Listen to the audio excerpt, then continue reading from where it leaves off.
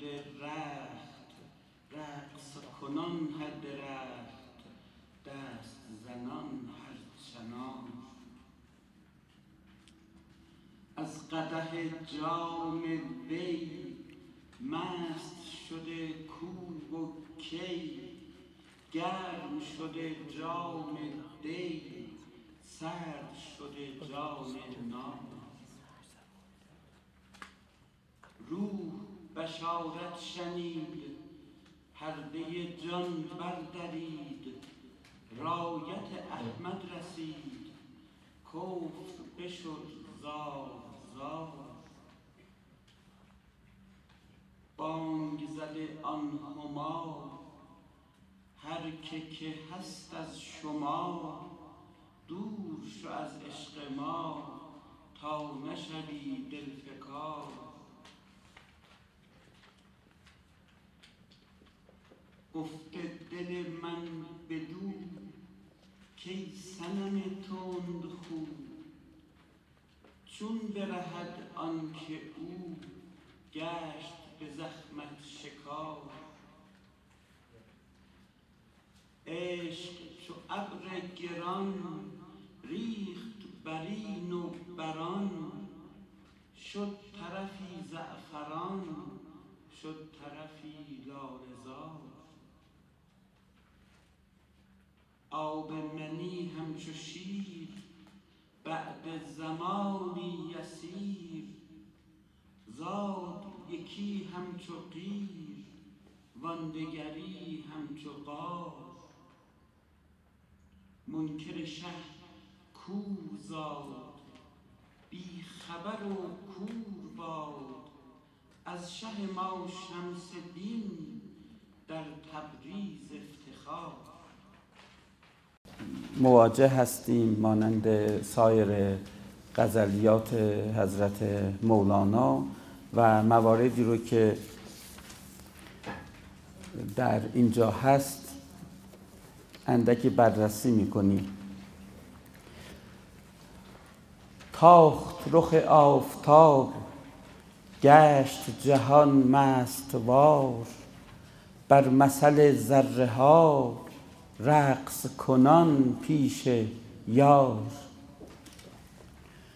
خب باز طبق روال سابق که بیت اول معمولا بیت مهم غزلیات حضرت مولاناست بیت اول رو بیش از ابیات دیگر بررسی می‌کنیم تا حال و هوای غزل به دست بیاد و با توجه به مطالب اصلی موارد دیگر هم خود به خود حل خواهد شد. رخ و رخسار و رخساره در عرفان اسلامی تجلیات محض جمالیه الهیه رو گفتند تجلیاتی که محض است و از آن جهت که من حیث هیه هست یعنی تجلیاتی که از آن جهت که تجلی هستند نه از جهت باسطیت نه از جهت قابضیت و نه از جهات دیگر. هم شامل بروز و کمون است یعنی تجلیاتی که آشکار می شود و تجلیاتی که مخفی و مکنون و مکتوم می مانند و هم از جهت تجلیات خفا و ظهور است که بعضی تجلیات مخفی میماند و بعضی تجلیات ظاهر می شود از این جهت هرگاه عرفا از رخ و رخساره سخن می‌گویند و از روی سخن می‌گویند منظورشان تجلیات جمالیه محضه حق تعالی است و در برابر تجلیات جلالیه که وقتی از زلف و گیسو سخن می‌گویند بدان توجه دارند و مراتب نسبت به آن مترتب است. اشاره به حقیقت خود تجلیات است و حقیقت تجلی که خداوند دارد و اساسا می‌دانیم که خداوند متجلی است. تجلی او خود به خود است. خداوند منجلی است. انجلا و تجلی خود به خود از جانب او واقع می شود. مانند منبع نوری که وجود دارد و وقتی این منبع نور هست خود به خود ذرات نور از آن ساطع و طالع می شود. از این جهت است که خود به خود اگر نوری هست خود به خود تجلی خواهد کرد جلوگری خواهد کرد و خود به خود خواهد داشت.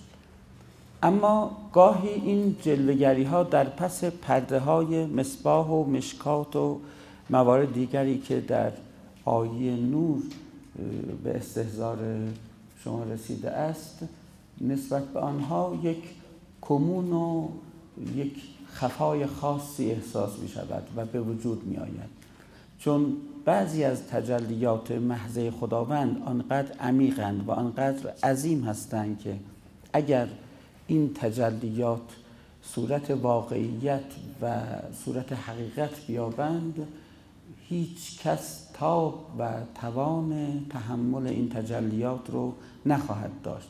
از آن جهت است که چنانچه در جلسات قبل عرض شد روپوشی برای این روی و رخ و رخساره در نظر می‌گیرن. روپوشی هست که این متجلیات باعث می شود که ما از آن نور حقیقی اندکی فاصله بگیریم و در حقیقت مصباح و مشکاتی است که به وسیله آن مشکات و مصباح ما از آن نور محضه و نور کامل اندکی دور می شویم و توان دیدار او رو خواهیم داشت.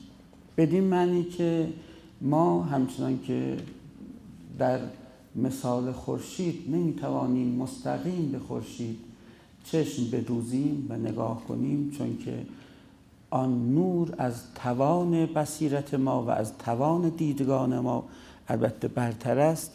از این جهت ما مجبوریم که آن نور رو و آن تلعلو رو در چیز دیگری ببینیم. مثلا در آبی در چیز کدرتر که بتوانیم نظارگر آن باشیم. و اگر خورشید رو با همین دید خودمان ببینیم و نگاه کنیم البته چشم ما توانایی آن رو نخواهد داشت و چه بسا که انسانی که می‌بیند به کوری مبتلا شود و در مورد عرفان و سلوک و بحث رخ و رخسار همچنین است.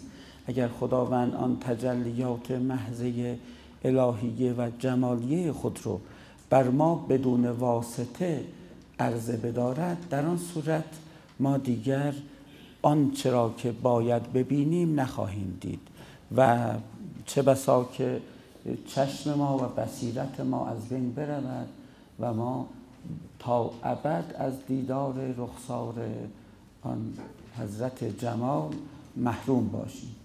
از آن جهت هست که گفتند که بایستی به قدر درک افراد این تجلیات صورت بگیرد.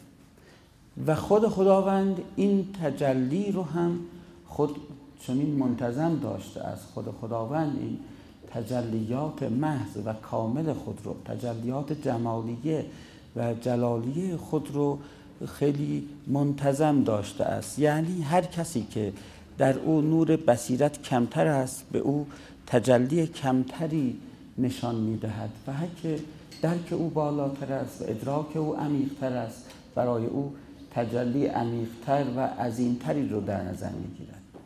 چنان است که پیغمبر فرمود اگر آنچه من می‌بینم شما نیز ببینید طاقت اون رو نخواهید داشت.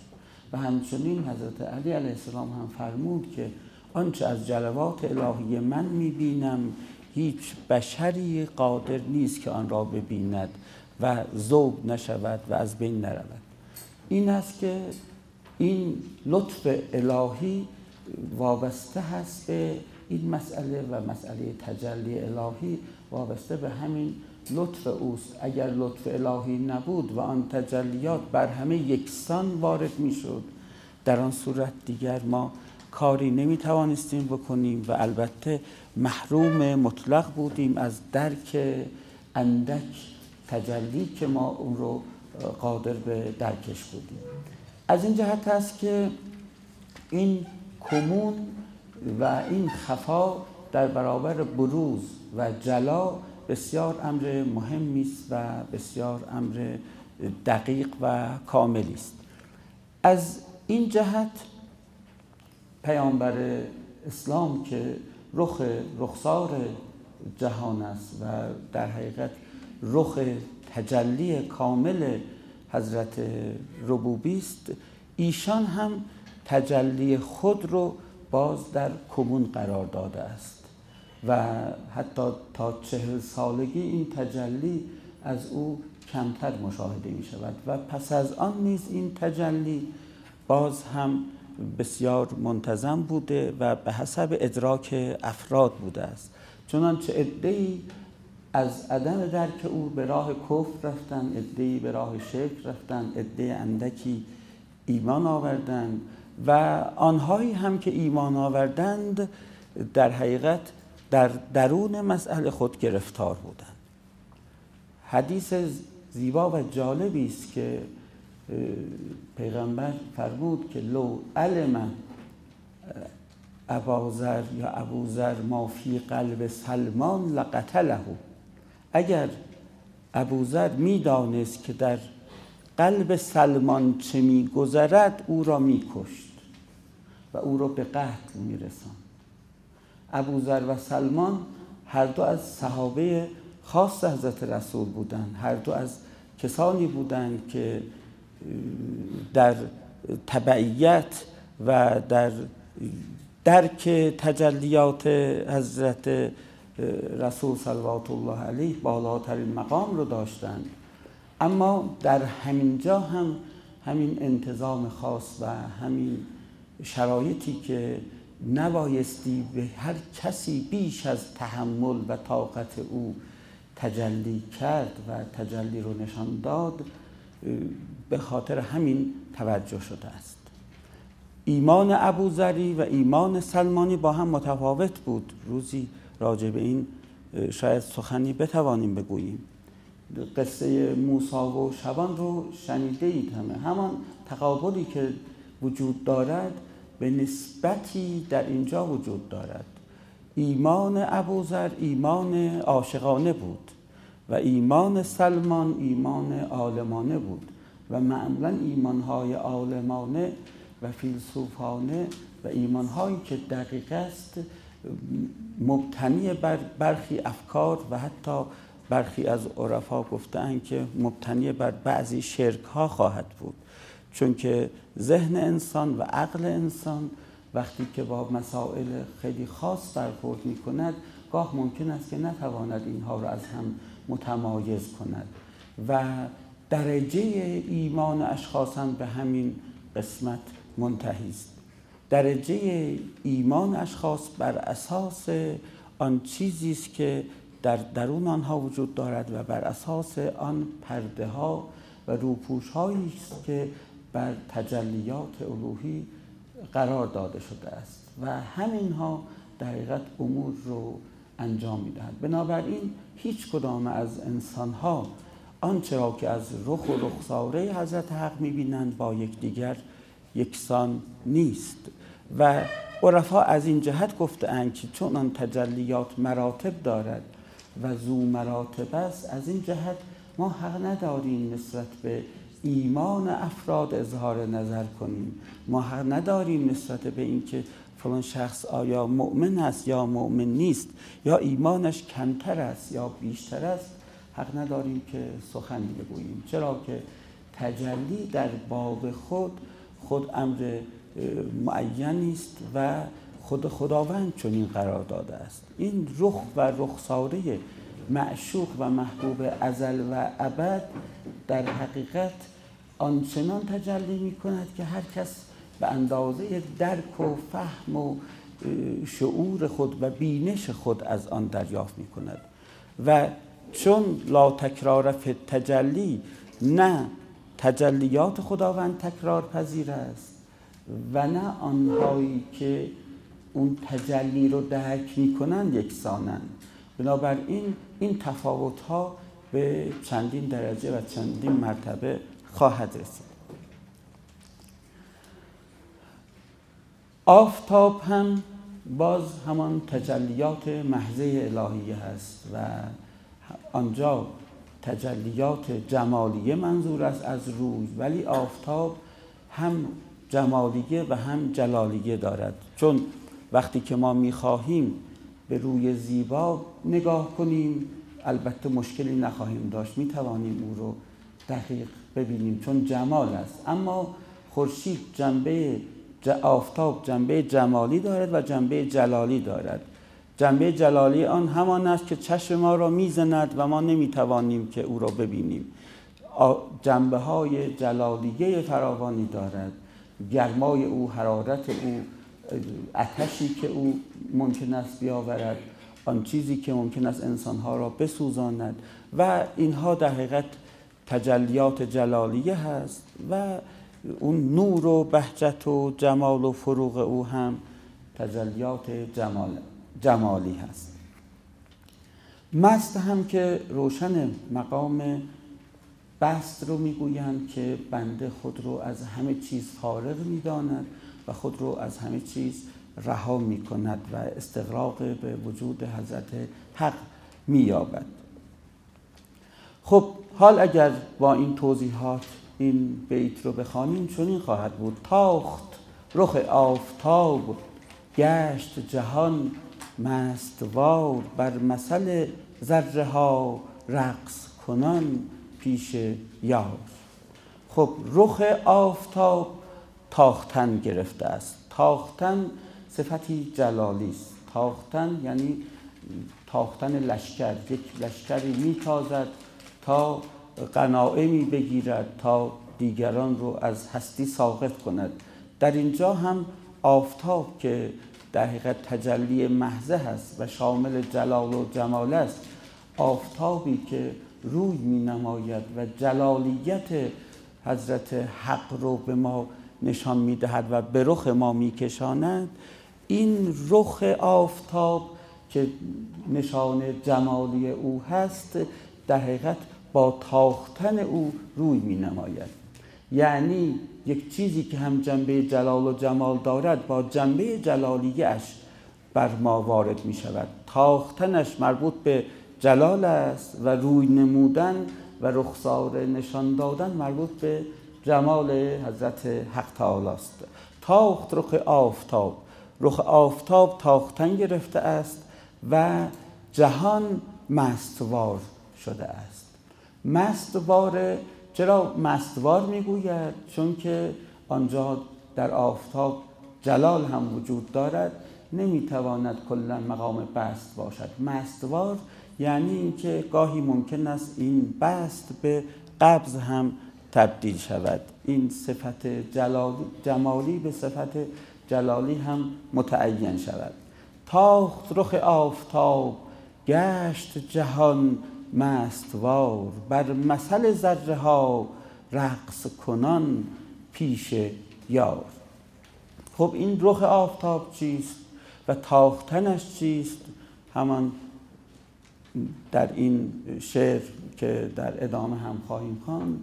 همان رخ نورانی حضرت رسول صلوات الله علیه هست که در بیت چهارم او رو اشاره مستقیم به او خواهد کرد و فعلا در خفا و در کمون سخن می‌گوید. خب پیامبر اسلام آن آفتابی است که رخسار او بر این جهان آمد و تاختن گرفته و خصوصیات خاصی رو ایجاد کرده. شما می‌دانید که با ولادت حضرت رسول اتفاقات خاصی افتاد. کنگره های کاخ کسرا کاخ پادشاهان ایرانی فرو ریخت. چهارده کنگرهش فرو ریخت. دریاچه ساوه خشکید و در اون زمان که انوشیروانی که بود او خواب بسیار آشفته دید و از خواب بیدار شد. و ارهاس های فراوانی در اینجا اتفاق افتاد که مقارن با ظهور و طلوع این آفتاب مشرقی و آفتاب مغربی است. آفتابی که وجود مقدس حضرت اساسا از ازل بود و طالع کرد این آفتاب همچنان تا ابد به عقیده مسلمی ادامه خواهد داشت و تجلیات او همچنان بر ابناء بشر خواهد رسید. خب وقتی که رخ آفتاب آمد آفتاب بحثی هم هست که آف و تاب. آف یعنی همان خور و شید هم که همان تابش آن هست. آفتاب یعنی تابش آف.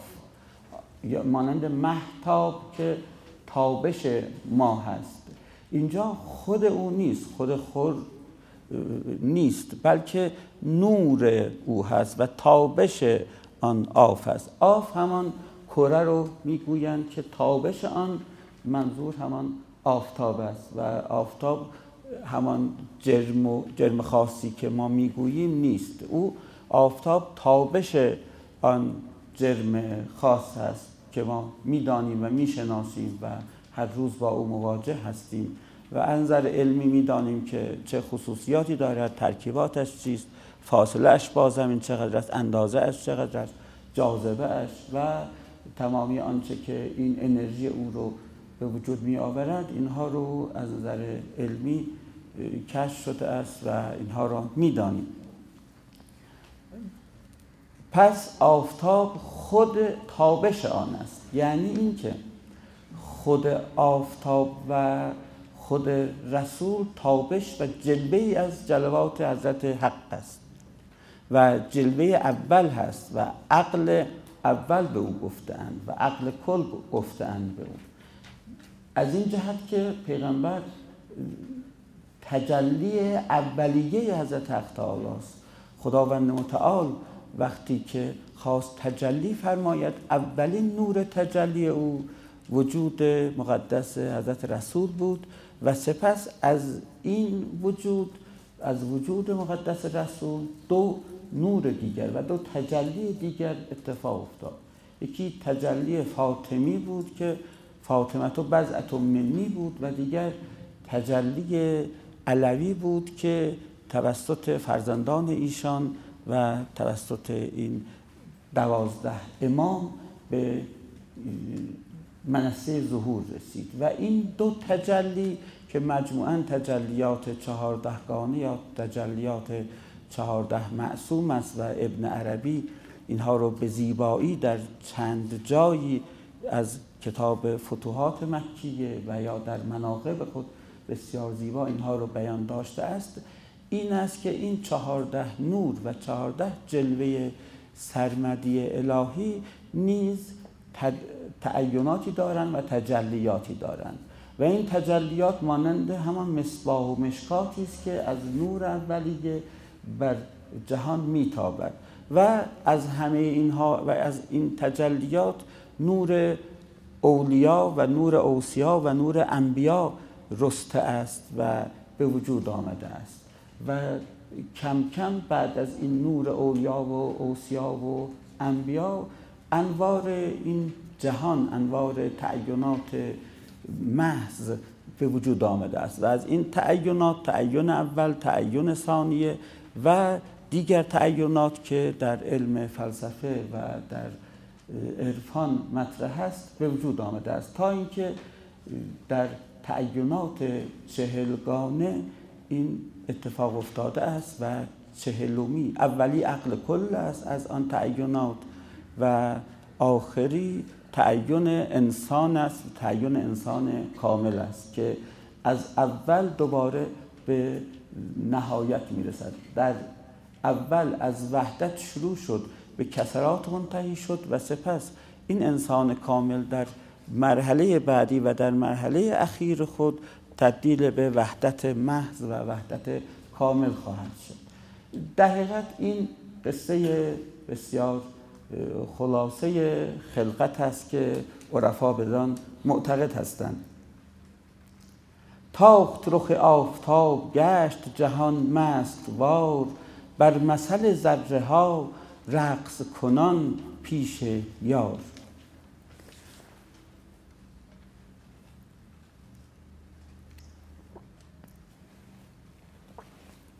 خب راجع به رقص اندکی سخن بگوییم که امر مهمی است و در ارتباط عرفا و به خصوص حضرت مولانا نسبت به این زیاد توجه داشته است.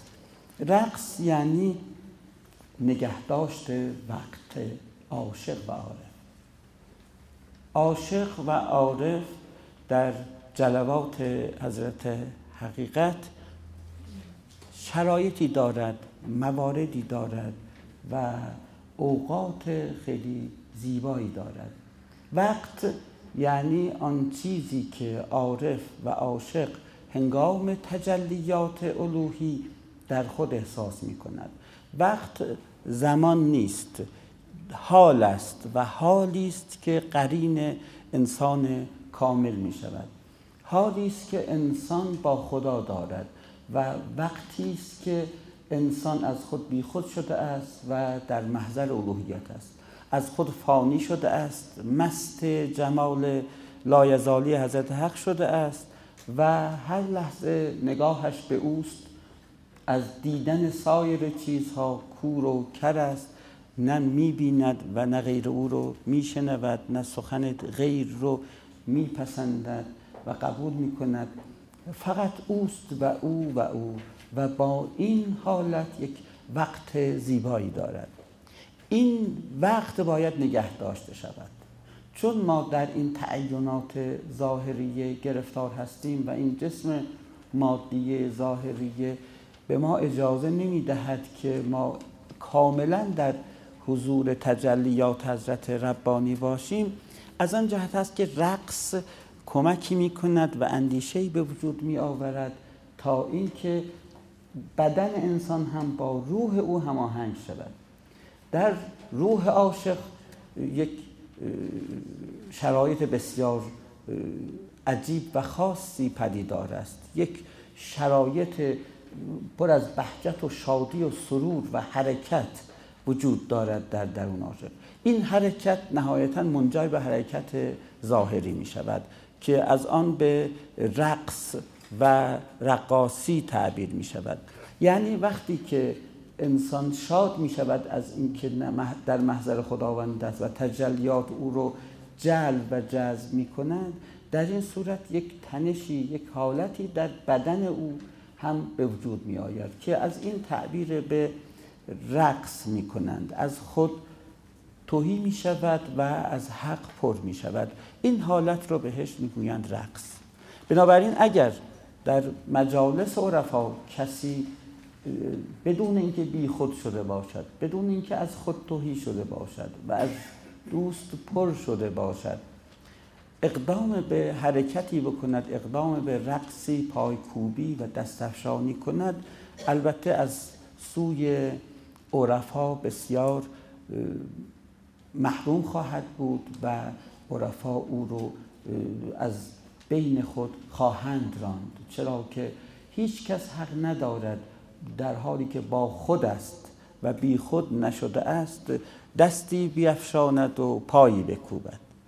از این جهت است که بسیار مهم است که کسی مجاز است که چون این حالتی در او به وجود بیاید و حرکتهای خاصی از او سر بزند. که پر از حق شده باشد و از خود توهی شده باشد. چون اگر از خود توهی نشده باشد و رقصی بکند معلوم است این برای نفس است این برای خود است و این بسیار مضموم و ناپسند است. رقص زمانی اتفاق می افتد که او از خود خالی می شود و پر از حضرت حق می شود. آن وقت حضرت حق است که او را به رقص وامی دارد. در مورد همه حرکات چنین است. در مورد گفتار هم چنین است.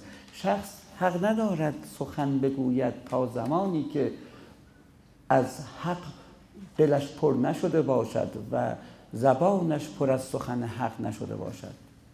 و حق ندارد سخن بگوید تا زمانی که او از زبان او سخن نگفته باشد. اگر چنین نباشد البته آن اثر سخن حق از بین خواهد رفت و آن سخن حق دیگر هیچ تأثیری نخواهد داشت. همچنین از گوش کردن و سما سما هم همان است که شنیدن در حقیقت تجلیات حضرت حق شنیدن چیزهای بسیار زیبا که با سمع و نظر قبول او رو تأیید می کند و همه این کارها و همه این رفتارها مربوط است به همین قصه ای که عرض کردم. یعنی همه بایستی وقتی انجام شود که از خود خالی شود از منیت از انانیت از منها خالی شود و همه او شود و از حضرت حق پر شود.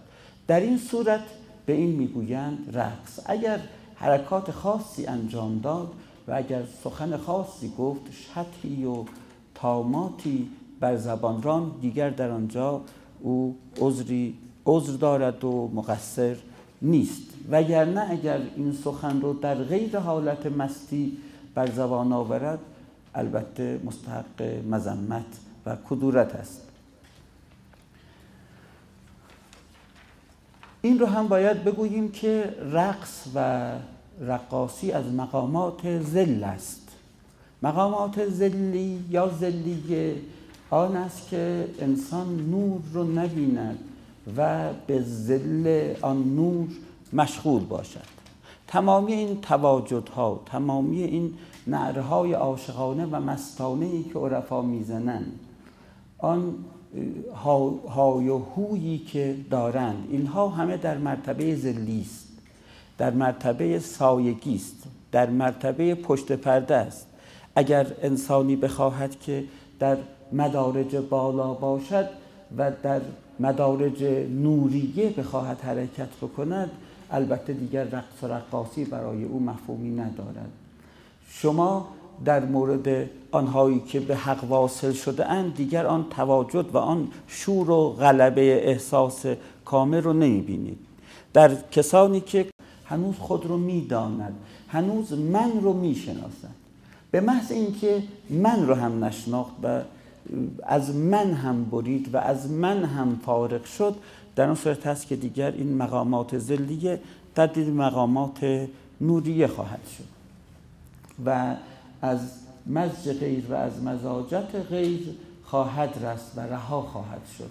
در اینجا چون تعینات خاص عالم ماده هم وجود دارد لذا این تمامی حرکاتی که انجام می شود تحت تاثیر همان مزاج او و همان خلط تینت او با تینت طبیعت و تینت الوهی است. تاخت رخ آفتاب گشت جهان مستوار بر مثل ذره ها رقص کنان پیش یار. خب فکر می‌کنم توضیحات خاص ارائه شد. اکنون اگر اینها رو با هم جمع بکنیم به نتیجه خواهیم رسید. رخ آفتاب تاختن گرفته است و جهان هم مست شده است. از وجود آن رخساره. پیامبر اسلام که متولد شد جهان مست شد که نمونه هایش رو عرض کردیم. و این جهان این همه خورشید و آفتاب ها همه مانند ذره ها به مثال ذره ها در پیش یار رقص کنن هستند. شما دیده اید وقتی که در یک تاریکی هستید یک شعاع نوری اگر بتابد به خصوص در بازار و در جاهای دیگر این خیلی مشهود است. انسان گرد و غبارهای بسیار کوچکی رو که در امتداد شعاع نور است که تابیده می شود می بیند هزاران هزار گرد و غبار است. و می‌گویند که این گرد و غبار همه اگر دقت کنید هیچ هدفی ندارند. اینها هیچ راهی ندارند. بر گرد خود میچرخند. بدون اینکه بدانند چرا میچرخند. و همه مست و واله و حیران شده اند. از هیبت آن نور و از عظمت آن نور اینها از خود بیخود شدند از خود رسته اند و در حقیقت گرد دارن میچرخند ممکن است گاهی بالا بروند ممکن است گاهی پایین بیایند. خود رو به دست حوادث سپرده اند. خود رو به دست بادهایی که اینها رو بالا می‌برد و پایین می‌برد سپرده اند. و از خودیت خود هیچ خبری ندارند. انسان عاشق چنین است. وقتی آفتاب جمال الوهیت و تجلیات محضه جمالیه حضرت حق متعال بر وجود انسان تابیدن گرفت در آن صورت وجود انسان مانند همان ذره ها می شود چنان مست است چنان از خود بی خود می شود که می چرخد اما نمی‌داند چرا می چرخد فقط اینکه در محضر نور است چاره جز این نمی بیند آیا می‌داند چه می کند نه نمی‌داند. حیران است مست است. مانند مست لایعقلی که هیچ نمی‌داند و هیچ کاری نمی‌شناسد او هم چنین می کند و در فضای قرب الهی و در فضای نور حضرت حقیقت میچرخد و میچرخد. و اگر او بگوید بالا بیا بالا می رود و اگر بگوید بر زمین رو بر زمین خواهد رفت. این صفت عاشقان شیفته و دلداده هست که بایستی چنین باشد. یک مثال کوچک ارز کنم. دیده اید شاید کسی رو که تعلق خاطری جوانی مثلا کسی یا هر, هر کسی که باشد تعلق خاطری به کسی داشته باشد. عاشق مثلا پسری عاشق دختری شده باشد. وقتی این دختر در هیته نفوذ او می آید اگر به حرکات او توجه کنید می بینید سر از پا نمی شناسد حرکات خاصی از خود بروز می دهد و حرکات عجیبی که شاید برای کسی که اهل دل نباشد برای او عجیب باشد این چه می کند می بینید می نشیند بلند می شود علکی می خندد سخنهای بیهوده می گوید کارهای بسیار مثلا معمولی و شاید سخیفی انجام دهد. اما اگر کسی اهل دلی باشد می‌فهمد که این از جوار آن محبوب است که این چونی شده است. خود رو از از خود بیخود شده است. خود رو نمی‌شناسد و با اینکه او رو نمی‌بیند و توجهی به او ندارد اما چون می‌داند که او او رو می‌بیند همیشه در یک حالت خاص انقبازی هست و گاه منبسط می شود گاه منقبض می شود. گاه حالت های مختلفی پیش می آید و همین حالت عاشق است. خب این مثال بسیار کوچک و بسیار پیش و پا افتاده است. اما همین را اگر ما قیاس کنیم چنین است. عاشقان حق و کسانی که حضرت حق رو مشاهدتا و بالعیان می‌بینند و درک می‌کنند آنها چنینند. حتی آنهایی که نمی‌بینند ولی می‌دانند که او ایشان را می‌بیند هم از خود بی خود می‌شوند. گویا یک مثلا یک جایی هست شخص معشوق و محبوبش را نمی‌بیند ولی می‌داند که او نظری به این دارد. کارهایش جور دیگری می شود اقداماتی که انجام می دهد و حرکاتش متفاوت است. سرگردانی در او به وجود می آید این ذره هایی که هست در جهان همه از دیدار آن معشوق مطلق و از دیدار آن معشوق کل چنین هستند. همه سرگردان و سرگشته مشغول رقصند. بدون اینکه بدانند چیست. آیا این رقص حرام است یا حلال است؟ بله دیگر اگر عرفا گفتن اگر با خود است خودی دارد خود رو می‌شناسد می‌داند کیست. اسمش را بپرسند می‌گوید اسمم این است. اون آن حرام است. ولی اگر نداند و کلا در مقام حیرت حق تعالی باشد نه تنها حرام نیست ممکن هست برای او اجری هم در نظر گرفته باشند. بنابراین رقص ولوله عشق تنتنه محبت است و چیزهایی است که انسان رو از خود بیرون می آورد تاخت رخ آفتاب گشت جهان مستوار بر مثل ذره ها رقص کنان پیش یار. خب شما رو خسته نکنم اگر زیاد توضیح بدم بیشتر از این دیگر موجب خستگی و ملال خواهد بود. شاه نشسته به تخت عشق گرو کرده رخت. رقص کنان هر درخت دست زنان هر چنار. خب مشخص میگه شاه نشسته به تخت. این شاه کیست؟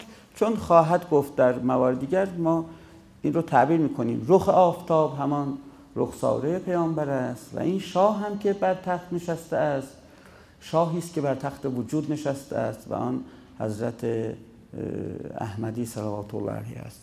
شاه نشسته به تخت. عشق گرو کرده رخت. خب به تخت نشستن شاه که روشن تخت همان عرش است و آن روایت زیبایی هست که پیغمبر میفرماید که من در عرش بودم و برادرم علی را در آنجا دیدم و جایگاه خودش رو به عنوان جایگاه عرشی بیان کرده است.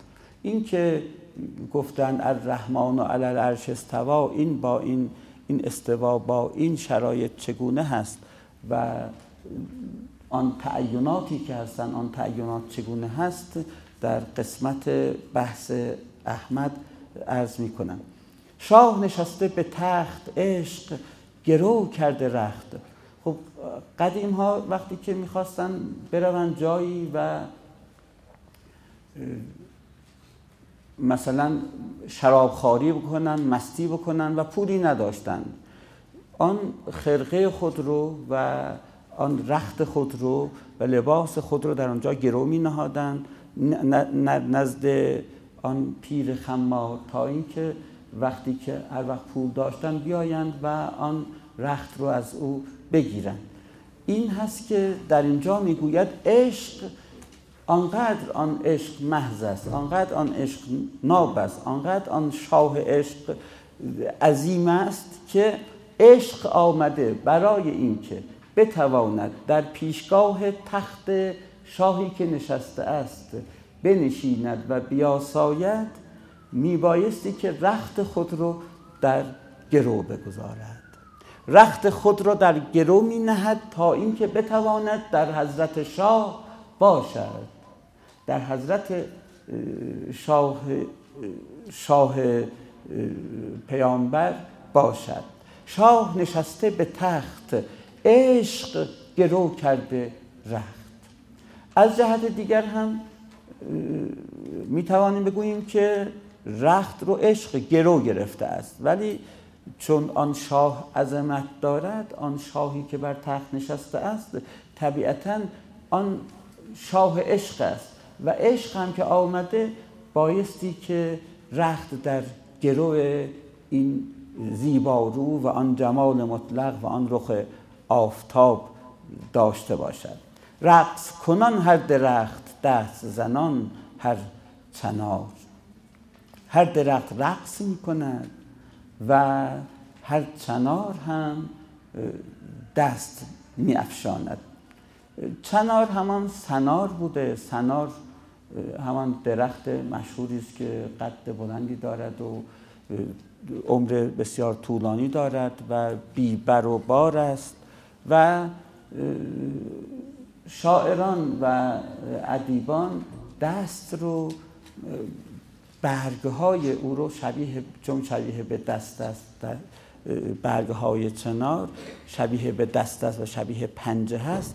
از آن جهت وقتی که رو به بالا هست شاعران استفاده کردن و گفتن که او همیشه در حال دستفشانی و دعا هست و همه دستانش با صدها دست به سوی خدا که برداشته است و چنار دارد هر لحظه عبودیت خدا رو می کند و این هم اشاره به همان است.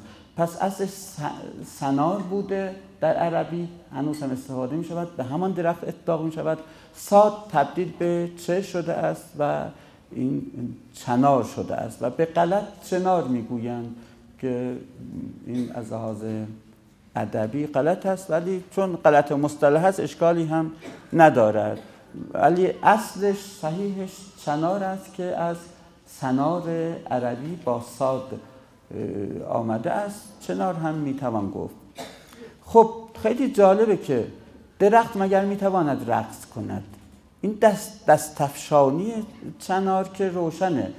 از کردم آن برگ هایی که هست دست بالا می‌برند و با حرکتی که می‌کنن گویا دستفشانی می‌کنن و میرقصند. و درخت چه؟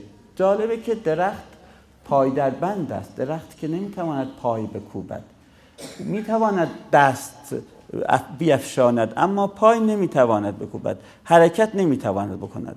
می‌گوید با اینکه درخت نمی‌تواند ولی این جلوه و این تجلی آنقدر عظیم است و آنقدر جلیل است و زیبا هست که حتی درخت هم به رقص در می آید درخت هم به حرکت در می آید بنابراین این رقصی که هست رقص مال تمامی ذرات جهان است.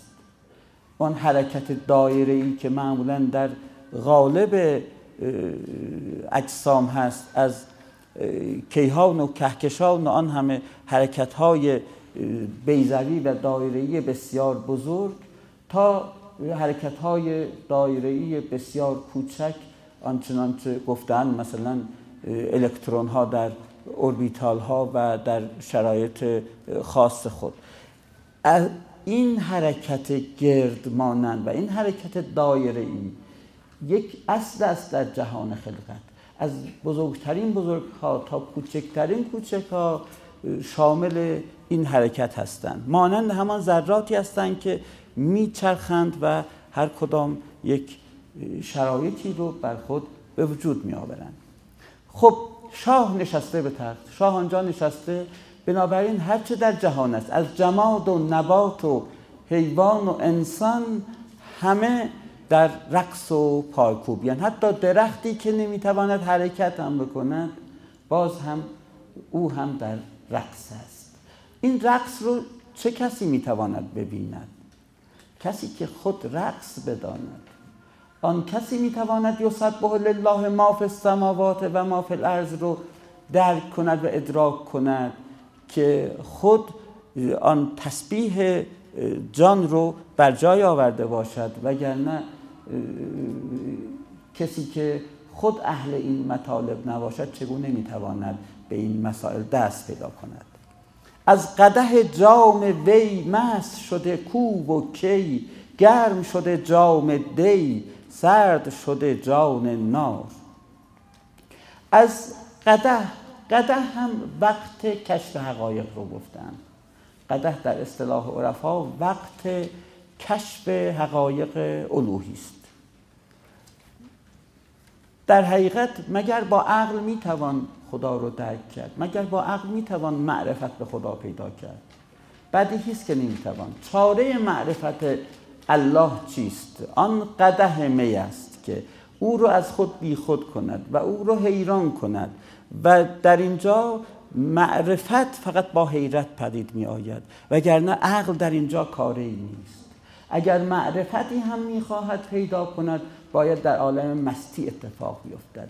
و خارج از مستی و بدون قده و جام در حقیقت این معرفت نفسانی و روحانی برای انسان پدید نخواهد آمد. قده وقت کشف حقایق الهیه هست. و در لغت هم یک کاسه ای هست که ژرف هست و او رو پر می‌کردن و می‌گویند برای مثلا دو نفر هم کافی است که بتوانند از آن بخورند. جام چیست؟ جام هم همان حالت است و جام هم در حقیقت معرفت هست و معرفت کشف باطن امر رو جام گفتن اینجا قده وقت معرفت حق است. جام کنایه از خود معرفت است که بدون جام این معرفت حاصل نمی‌شد. پس اگر این رو ببینیم قده جام یعنی از وقتی که آن تجلی اتفاق میفته وقتی که آن معرفت پدید می آید از قده جام وی برخی که معنی عرفانی قده و جام رو ندانستند بین اینها واو گذاشتند. چون تصور کردند که قده همان جام است و جام همان قده است. بنابراین گفتن از قده و جام وی. نه چون این نیست. قده چیز دیگری است جام چیز دیگری است. قده عینی تر است و جام ذهنی تر و در قده وقت معرفت وجود دارد در جام فقط معرفت خاص است. بنابراین وقتی قده جام شد می‌گوییم وقت معرفت ربانی. از قده جام وی مست شده کوب و کی. کو یعنی زیرک دانشمند انسانی که بسیار هوشیار است. به آدم پهلوان و قدرتمند هم کو می‌گویند. کی هم به معنی وجود و سروری و بزرگی است. ولی اینجا کو و کی به نظر بنده کو به معنای چه کسی است کو کدام است؟ و کی هم به معنای کی و کی چه کسی و چه زمانی هست. بنابراین می‌گوید از قده جام وی مست شده کو و کی. حتی خود کو که خدا کو. کی می آید همان وقت است دیگه. خب کی هم به معروف وقت است. این کی خود مست شده است. خیلی تعبیر زیبایی است. یعنی یک زمانی است که من خود سوال مست می شود ما معمولا از جوابی که داده می شود مست می شویم یک چیزی می‌پرسیم یک جواب درخوری به آن داده می شود ما از لحاظ معرفت معرفت پیدا می کنیم و مستی معارفی پیدا می کنیم لذت معرفتی می‌بریم. اما اینجا خود سوال رو مست کرده است و این خیلی حالت شاعرانه زیبایی است. خیلی حالت ذوقی زیبایی است. از قده جام وی مست شده کوب و کی گرم شده جام دی سرد شده جان نار حتی کو کدام است کجا هست و کی چه وقت است وقت تجلی کی است همه اینها هم مست شده اند. جام دی هم گرم شده است. دی که محل سرماست و در دی سردی بیشتر است برعکس شده و جام دی هم گرم شده است و سرد شده جان نار و روح آتش هم سر شده است یعنی شرایطی آمده است که آنچه که می باید می شده است برعکس شده و اتفاقی نیفتاده است. چون مست کرده است آن که باید سرد می‌شد گرم شده است. دی که باید سرد می بود گرم است. و ناری و آتشی که باید گرم می بود سرد است. فرصت نیست که راجع به اشاراتی که در این جان نار و جام دی هست سخنی بگوییم. روح بشارت شنید پرده جان بردرید رایت احمد رسید کفر بشد زار زار. روح بشارت شنید. و اشاره است به همین آیه مشهور قرآن که بشارت حضرت عیسی علیه السلام نسبت به پیامبر است که یعتی من بعدی اسمه احمد که در قرآن هم هست که من نبی خدا هستم و آمده ام تا پیامبران پیشین رو تصدیق کنم و بعد از من پیغمبری خواهد آمد یعتی بعدی اسمه احمد اسمش احمد است.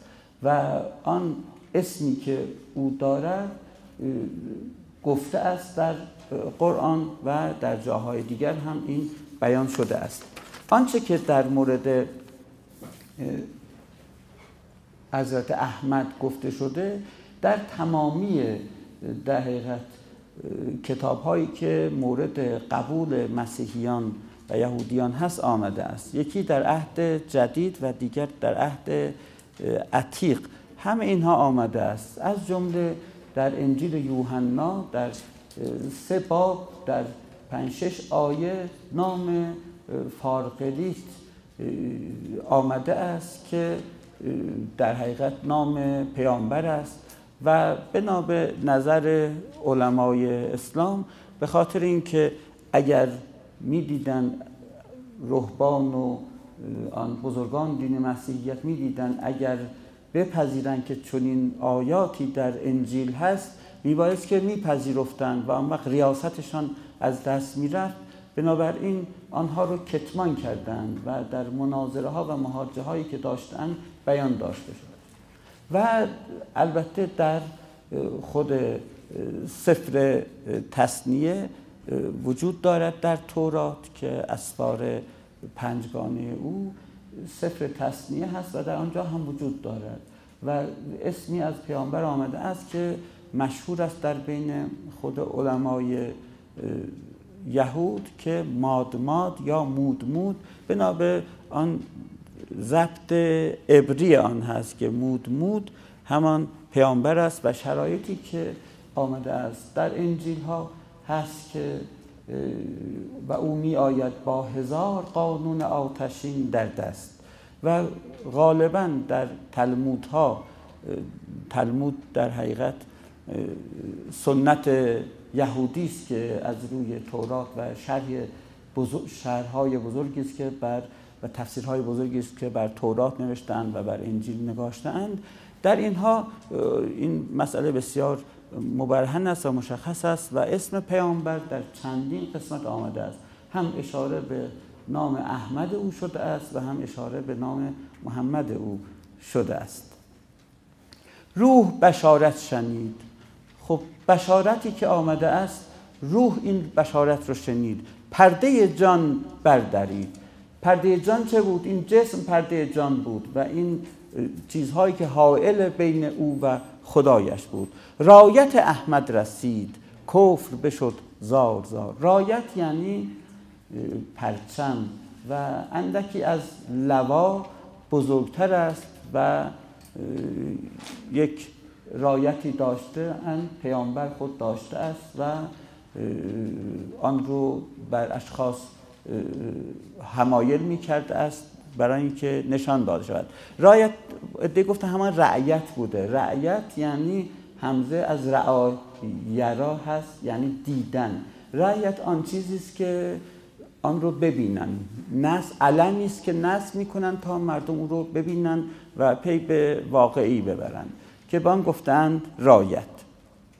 روح بشارت شنید. این بشارت های پیامبران قبلی بشارت حضرت موسی بشارت حقوق نبی بشارت های دیگری که وجود دارد. در همه صحیفه ها صحیفه اشعیای نبی و در سایر صحیفه ها اشاراتی هست و همه در عهد عتیق جمع است و کسی که اهل اشارت باشد می‌تواند به آنها مراجعه کند. خب یک بحثی که اینجا هست و پنج شش دقیقه وقتتون رو راجع به این بگیریم. بحث زیبایی است که ابن عربی مولانا شیخ محمود شبستری و سایر عرفا راجع به این باز کردند بحث احد و احمد و محمد هست.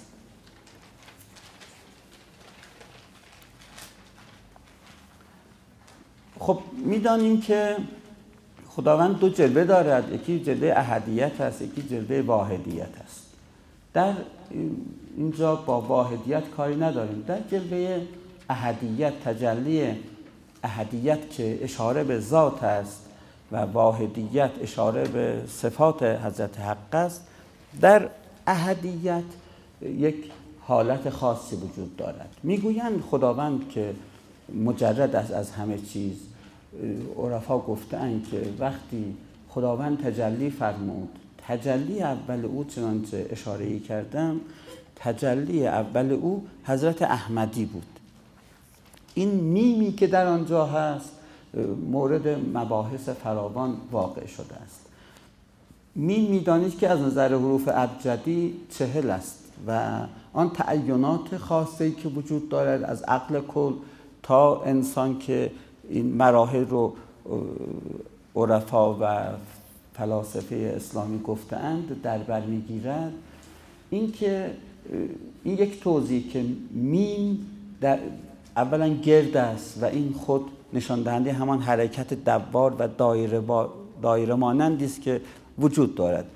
از نظر محتوای آن نیز چنین است. یعنی میم از نظر حساب به ابجدی در چهل هست و چهل می‌دانید که خود عدد مقدسی است و در مورد آن بحث تور و موسا و آن چهل روزی که وواعدنا موسا اربعین سلاسین لیله و اتممناها به عشر فتم میقات ربه اربعین لیله. این رو بیان کردیم در مباحث قبلی. این که این میم میم تعینات است. یعنی احد حضرت احد وقتی که تجلی فرمود احمد حاصل تجلی آن بود. ولی در اینجا بین حا و دالی که هست در احد یک میم به وجود آمد. این میم میم تعینات است. میم یعنی در حقیقت این عالم امکان این عالمی که از آن واجب الوجود متلألئ می شود. این همان چیزی است که از آنجا تجلی پیدا می کند. و وقتی که این در اسم آسمانی پیامبر گفتن که احمد است. و وقتی این تعین بیشتر می شود و طبیعی تر می شود و فروتر می آید و پیامبر وقتی در زمین قرار می گیرد آن الف او هست می شود و به جایش یک میم دیگر می آید که در حقیقت این میم میم کثرت است. کثرت تعینات واحدیه و احدیه در محضر حق تعالی و این تجلیاتی که در این جهان به وجود آمده است. بنابراین احد که واحد مطلق است با اینکه احد سه کلمه هست دیگر الف و ها و دال هست اینها این سه در حقیقت واحدند که استدلالی نمی کنیم چون فرصتی نیست. اما این احدی که وجود دارد وقتی میم آمد میم تعینات دنیوی آمد و میم کسرات آمد در او منسجم می شود و نام احمد وقتی است که آن تجلی روحانی علوی اندکی پایین تر می آید و در مجالی خاص دنیوی قرار می گیرد این میم همان کسرت است. یعنی از وحدت به کسرت و این کسرتی که بعدا به وحدت خواهد رسید.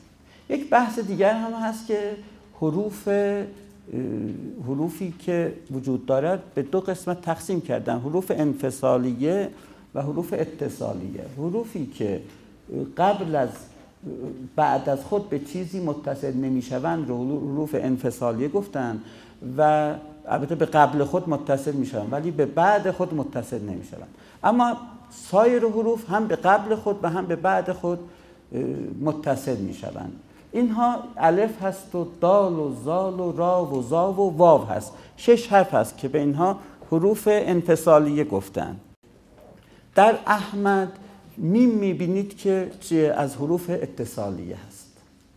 ولی در احمد الف حروف انفصالی است و به بعد از خود نمیچسبد. و آن الف هم نشان دهنده چیز همان یگانگی خداوند و تعبیر از خداوند گرفتن. دال هم که در آنجا هست در احد هم چنین است در احمد هم چنین است و در محمد هم چنین است. یعنی دال انفصالی هست. یعنی انفصال از این جهان پیدا شده است. ولی در اول آن از مبدعی که شروع شده است به مبدع وحدانی رسیده است به کسرت و بعد به وحدت می‌رسد و به انفصال از همه چیز می انجامد این انفصال از انفصال اولیه از عالم بالاست تا اینکه این انفصال بعدی که اتفاق میافتد این هم دوباره به عالم بالا می رود انا لله و انا الیه راجعون.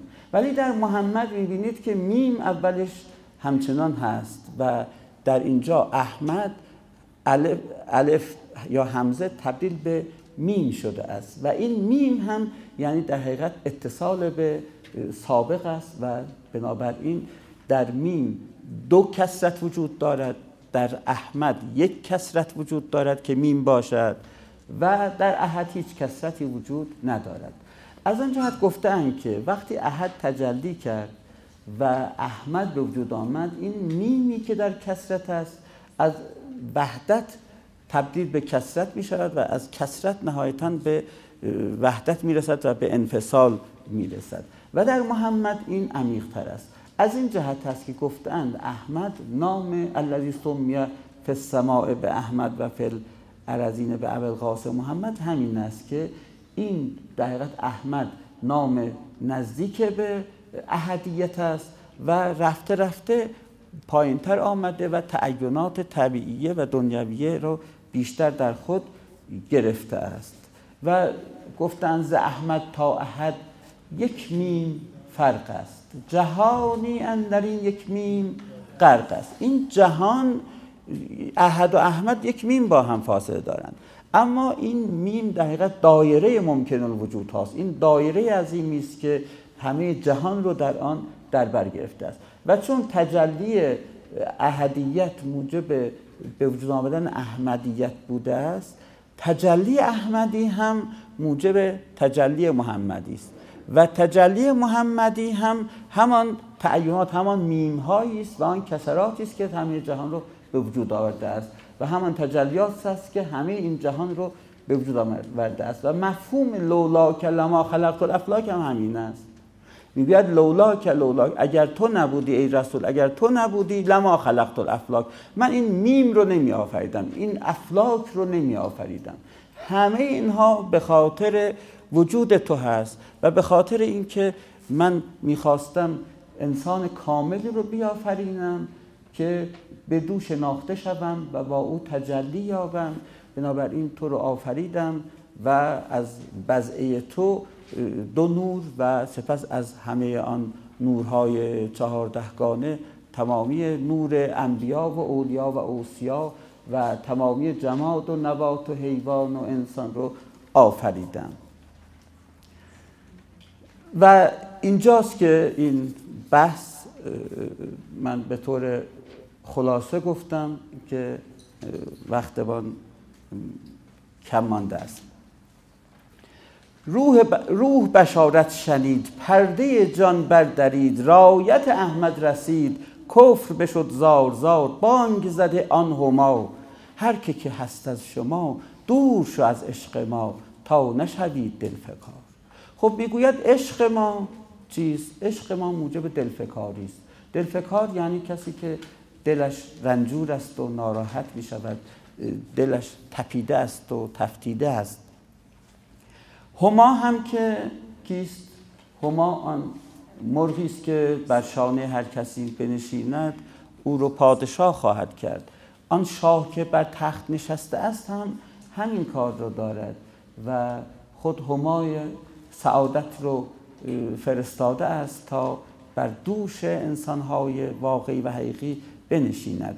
بانگ زده آن هما هر که که هست از شما دور از عشق ما. تا نشوی دلفگار آن هماها رو میفرستند تا اینکه این رو جلب شاهنشاه بکند. اما این آمده از این هما خبر می‌دهد که از ما دور شوید چرا که عشق ما بسیار سنگین است سهمگین است و هر کسی که وارد عشق ما شد او البته زج خواهد دید و ناراحتی خواهد کشید و دلفکار خواهد بود. و نتیجه عشق جز رنج و تعب و سختی چیز دیگری نیست. عشق انده و حسرت است و زاری عاشق نشوید اگر توانید. او هم شاعر هم گفته اگر بتوانید البته اگر بتوانید عاشق نشوید. وگرنه اگر نمی‌توانید که دیگر چاره ای نیست. و به خاطر همین گفتن که این عاشق رو نبایستی محکوم کرد چرا که عشق اختیاری نیست. انسانی رو محکوم می‌کنن و مجازات می‌کنن که کارش اختیاری باشد. بی اختیار هیچ جا بر او حرجی نیست. هیچ کسی که بی اختیار است رو نمجازات می‌کنن و از همه ملت ها از هفتاد دو ملت آزاد است. کسی که اختیاری از خود نداشته باشد. عاشق هم همچنین است چون اختیاری از خود ندارد. بنابراین مانند اینکه لیس علی الاعما حرج لیس علی العاشق حرج هست. این عاشق که حرجی ندارد این عاشق که چاره ندارد چون به اختیار خود نبوده است. گفته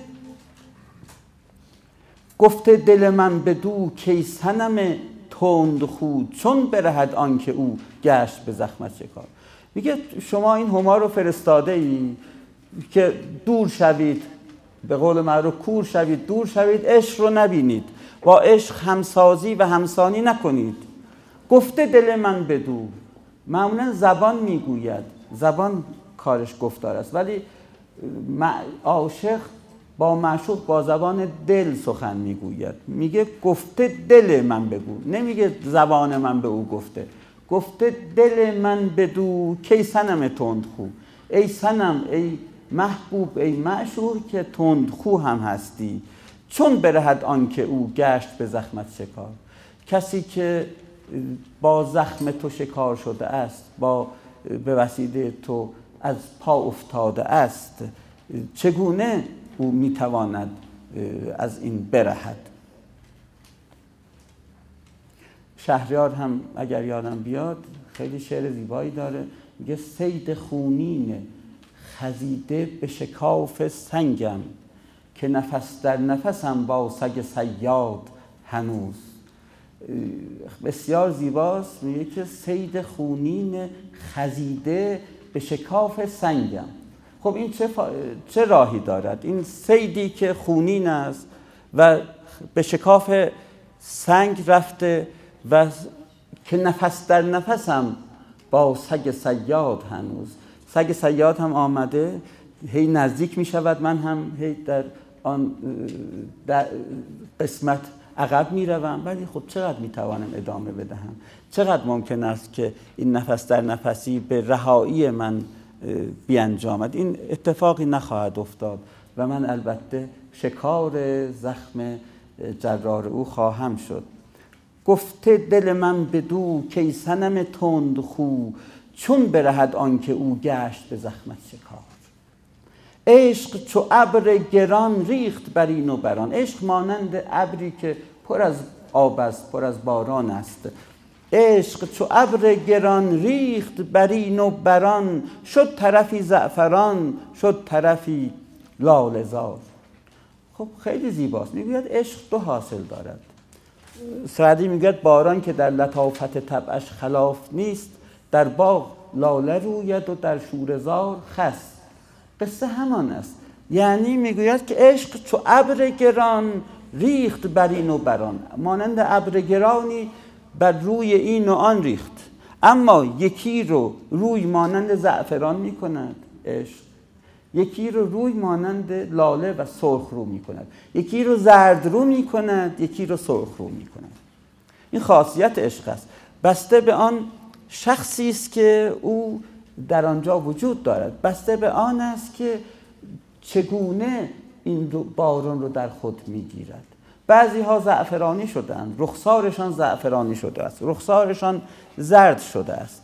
مانند خود مولانا. خود مولانا از این اشخاص بود که می‌گویند در اواخر عمرش در پنج سه سال آخر چنان زرد رو بود که نه می‌خورد و نه میخوابید و نه می آشامید و به حالتی رسیده بود که دیگر فنا رو در وجود او کاملا مشاهده می‌کردند.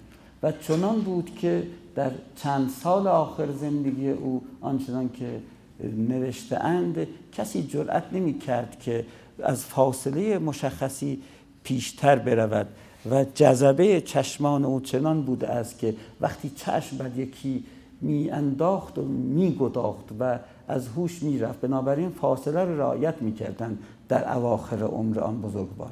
که البته در نزدیکی های شب عرس او و شب وفات او هستیم و این مرد بزرگ و این مرد مردی که یونسکو او رو مرد هزاره اعلام کرد و تنها کسی است که در جهان به عنوان مرد هزاره اعلام شده از همین حضرت مولانا جلال از انسان بسیار بزرگی است که حالا رشهات اندکی از قلم او چنین ما رو از خود بیخود می کند و چنین ما رو مست و شیدا می کند عشق چو ابر گران ریخت برین و بران. شد طرفی زعفران شد طرفی لالزار با یک ادکار زعفران می کند با یک ادکار لالزار یک عده رو از خود بی خود می کند یک عده رو به خواسته دلشان می رساند آب منی همچو شیر بعد زمانی یسیر. زاد یکی همچو قیر واندگری همچو قار قیر که معلومه به معنای قیر قیری است که همه ما می‌شناسیم و از قدیم هم میشناختند و مربوط به استخراج نفت نیست. از یک جاهایی این نفت سیاه بیرون می‌زده است و اکنون هم در جاهایی از دنیا هست. استخراج نمی‌دانستن ولی از اینها استفاده می‌کردن و معمولا کشتی ها رو و مثلا در مصر تابوت ها رو قیراندود می‌کردن. کشتی ها رو غالبا قیراندود می‌کردن که آب در آن نفوذ نکند و عمر کشتی ها بیشتر شود. قار هم که همه می‌دانیم قار ترکیست و همین به معنای برف است. برف هم سفیدی و هم سردی دارد و قار رو هم استفاده کرد حتی انوری هم استفاده کرده است از کلمه قار به عنوان سردی و به عنوان سفیدی. خب می‌گوید که بعد از زمان اندکی آن منی که مانند شیر است یکی را مانند غیر سیاه به دنیا می آورد. منی انسان یکی رو سیاه می کند و یکی هم به دنیا می آید که سفید است. می‌گوید اصلش یکیست. چرا این ابری که بوده است آن ابر گران آمده است یکی رو زعفرانی کرد یکی رو لالزار کرد می‌گوید اینه وقتی نطفه انسان یکیست و می‌رود و در یکی رو یک زیباروی سفید رو می‌کند و دیگری رو یک سیاه رو می کند یکی رو مانند غیر می کند یکی رو مانند قار سفید می کند مانند برف سفید می کند در این صورت خب این از طبیعت امر است.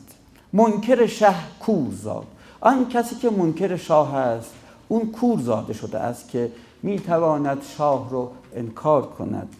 بی خبر و کور باد و او هم بی خبر است. چون نبی که هست نبی یعنی چه کسی؟ یعنی نبع آورده است. نبی یعنی آن که خبر آورده است. کسی که نبی رو منکر شود در حقیقت بیخبر است. و خبری که او آورده است رو او نمی‌خواهد. بنابراین بیخبر و کور باد و چشمش حقایق رو نمی‌بیند. از شه ما شمس دین در تبریز افتخار. این ما هم یک شاه داریم. آن شاهی که نشسته به تخت بود و رخ آفتاب داشت که آن رسول بود. و ما هم یک شاهی داریم که او هم رخ آفتاب دارد. او هم شمس است آفتابی است و شمس تبریز است که از تبریز سر زده است. او هم در حقیقت مراد ماست و بزرگ ماست همچنین است. از شه ما شمس دین در تبریز افتخار. این افتخار شهر ما تبریز است که موتن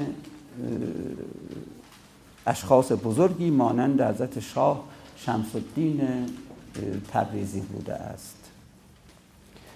از اینکه حوصله فرمودید و عنایت فرمودید بسیار سپاسگزارم.